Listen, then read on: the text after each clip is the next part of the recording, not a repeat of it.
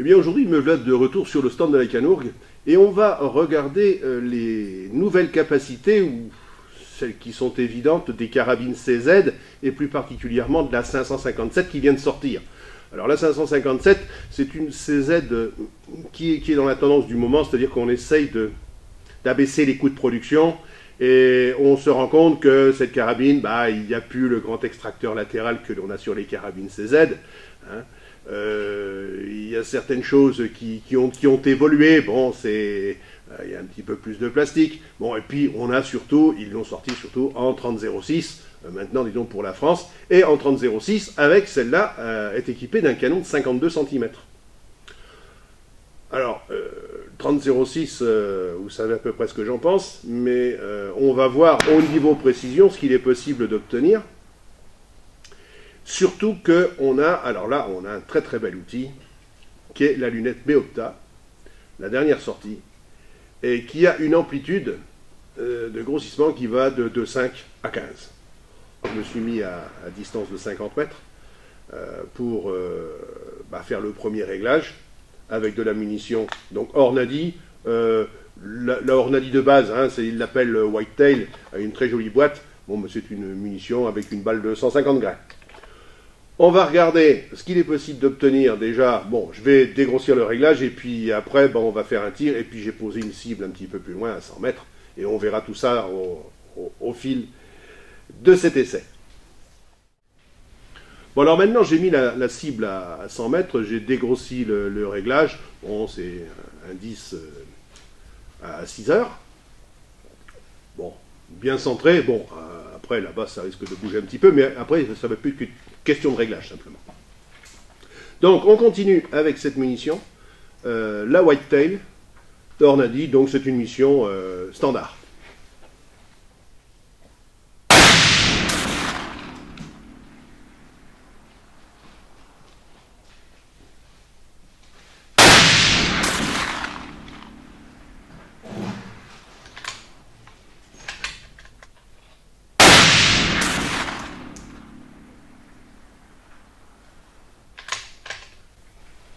Bon, bien voilà.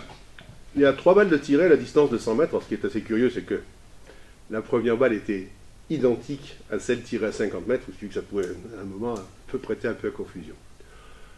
Ensuite, deux autres balles. Bon, on se tient dans le 10 ou autour du 10. Donc ça, ça montre que les carabines CZ, ça le montre une fois de plus, parce qu'en fin de compte, tout le monde le sait. Les carabines CZ et leurs canons, c'est vraiment euh, en acier poldi et non pas poli, comme certains le corrigent. Un acier poldi, c'est des, canons qui sont remarquables. Et euh, tous les détenteurs de carabines CZ ou les anciennes Bruno, euh, bah, on ne les lâche pas parce que c'est vraiment de très très bons produits. Alors ils ont gardé une très bonne canonnerie. Bon, comme je disais en, préambule, ils ont mis une, comment dirais-je, une, culasse simplifiée, disons, pour faire un petit peu comme tout le monde et surtout abaisser les coûts de production. Bon, avant, on avait un stécher, bah, il n'y a plus de stécher. Mais bon, cette arme-là est essentiellement destinée au tir de battu, bien qu'elle soit équipée de systèmes de, visée classique hausse et. Une chose qui est intéressante à voir, c'est euh, la qualité de l'optique, qui est sans parallaxe à 100 mètres, par contre à 50 mètres, euh, en grossissement euh, maximum, c'est pas, pas du tout valable. On va essayer d'autres munitions et voir un petit peu ce qu'il est possible de faire. Donc je vais garder la même cible à la distance de 100 mètres.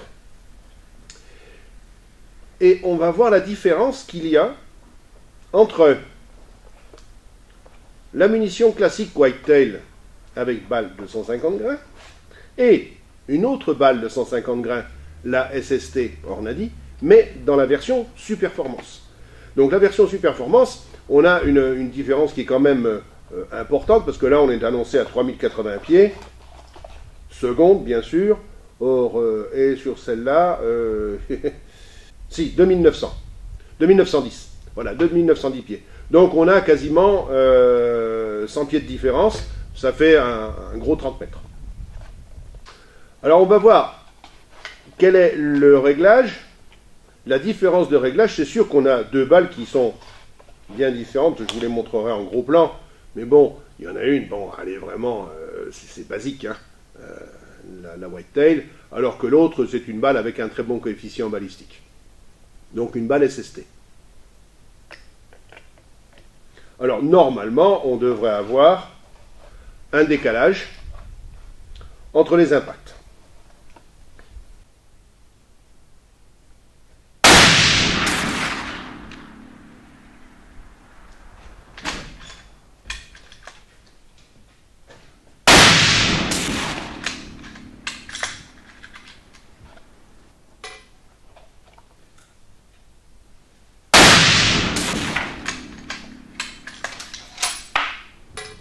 Alors voilà donc 3 balles SST 150 grains, donc on a la même masse de balles, 150 grains les deux, les profils sont un petit peu différents, sachant que la SST est quand même un très très bon coefficient balistique. Alors on remarque, on le voit dans, la lunette, euh, le tir est nettement plus haut. Euh, quant à ça, il n'est pas impossible qu'ils soient un peu plus dispersés.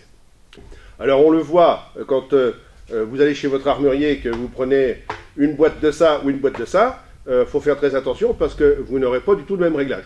C'est pas ça qui vous fera manquer un sanglier à 50 mètres, ça c'est clair.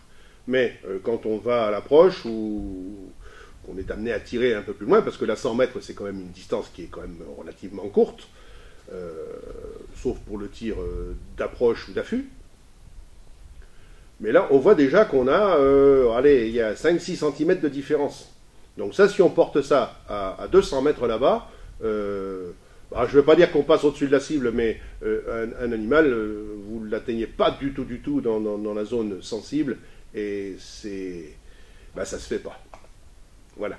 Donc on va changer de cible, et on va tirer avec une autre munition.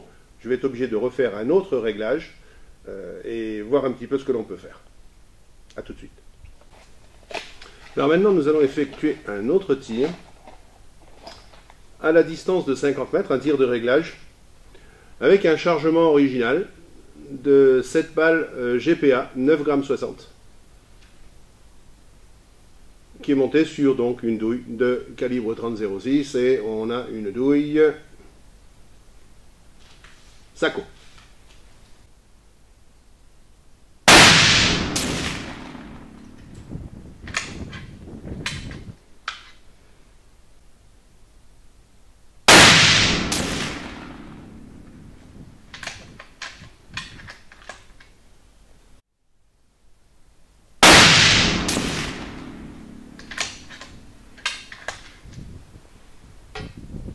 On remarquera qu'il y a relativement peu de différence à la distance de 50 mètres.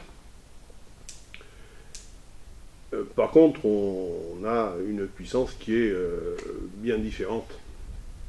Et ça, je vous l'indiquerai en infographie pour vous donner les, différentes puissances et vitesses aux distances intermédiaires. Donc là, on le voit à la distance de 50 mètres, c'est bon, on est un petit peu haut. Et comme c'est une balle qui, est faite pour la battue, hein, euh, quand on va passer à distance de 100 mètres, on va voir ce qu'il est possible de faire. Et on va juste avoir à déplacer la caméra. A tout de suite. Bon alors là, on va tirer à la distance de 100 euh, mètres avec la balle GPA. Alors on a vu à 50 mètres, le, réglage est un peu haut. Donc je fais un, un peu plus large là-haut pour voir, bon, on rectifiera.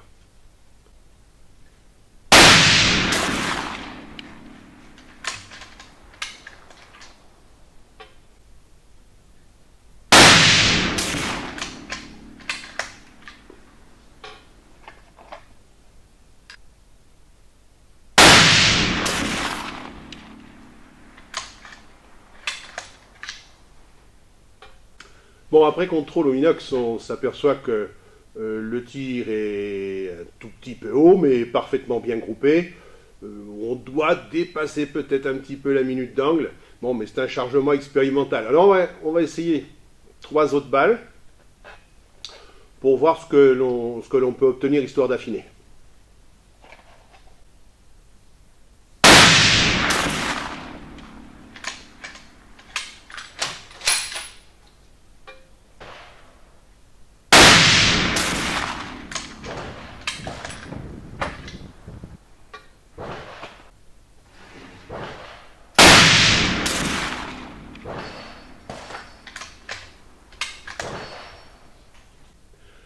Bon, là, on vient de terminer un tir à la distance de 100 mètres. On s'aperçoit que, bon, c'est un chargement expérimental euh, avec euh, deux, variations. On s'aperçoit que la variation est tellement infime qu'il euh, y a très très peu de différence entre les, deux séries de trois impacts. Et je pense que c'est tout à fait concluant et ça montre une fois de plus que la balle GPA, bah, qui est une balle tournée, est une balle d'une très grande précision. Tir 200 mètres avec balle GPA 9 grammes 60, calibre 30-06, carabine CZ 557.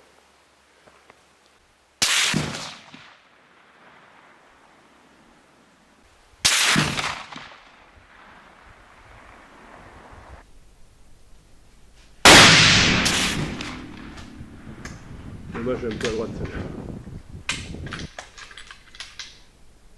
Bon, bien voilà, on a fini un tir à la distance de 200 mètres. On va contrôler au Minox pour voir exactement ce qu'il en est. Bien, alors là, à 200 mètres, il faut reconnaître que le tir est très bas. Il y a une balle qui se balade. Ça, c'est très probablement moi, la suite d'une perturbation d'une cartouche qui n'est pas partie. C'est jamais très bon. Ceci dit, on voit encore une fois que la, GPA est tout à fait intéressante à cette distance-là. Malheureusement, pour un tir de chasse, euh, c'est vraiment très très très limite dans la mesure où on a un canon de 52 cm, on a une vitesse euh, euh, qui n'est pas très très élevée, bien qu'on exploite au maximum les possibilités des nouvelles poudres et notamment de la SP11. Et puis de cette balle GPA 9 g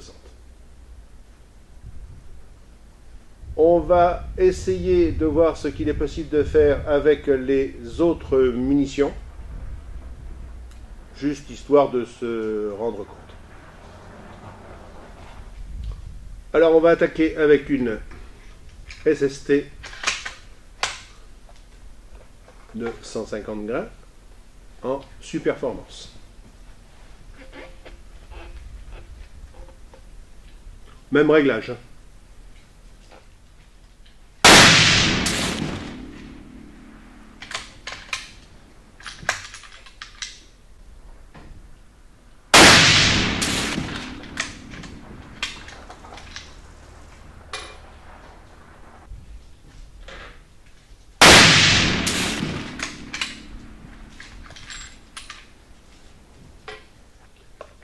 Maintenant, on va reprendre la munition du départ, qui était la whitetail, et on va voir avec ce même réglage ce qu'il est possible de faire, toujours à la distance de 200 mètres. Ce qui va être intéressant, ce n'est pas tant les groupements. Ce ne sont pas les groupements, ce sont essentiellement les différences de niveau s'il y en a.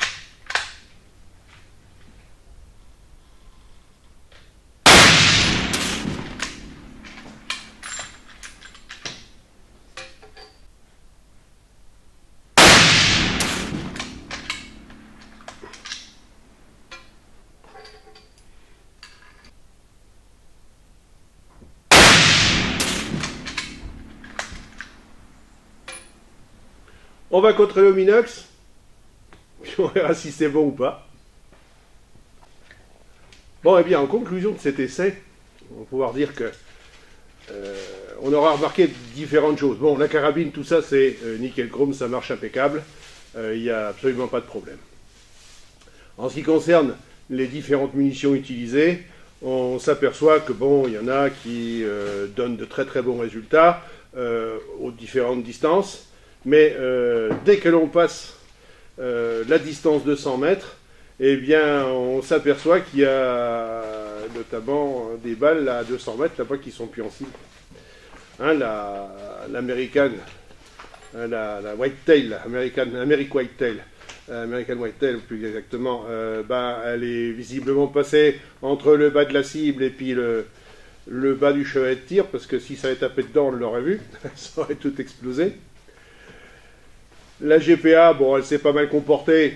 Il y a une balle qui est trop haute, mais ça, ça vient, je pense, de moi. Ensuite, euh, l'autre munition, la Superformance, eh bien, globalement, elle a, pratiquement le, même réglage à distance de 200 mètres que la GPA. Donc voilà, euh, ça permettra, si vous voulez, de, quand vous irez chez votre armurier, bah, quand vous saurez que vous êtes réglé avec une munition, ne vous faites pas refiler une autre munition en disant mais c'est le même poids, c'est la même chose. Non, c'est pas la même chose. On le voit à la distance de 200 mètres. Je vous suggérerais quand même un canon un tout petit peu plus long de 56 cm, ce serait quand même pas mal. A très bientôt pour d'autres carabines.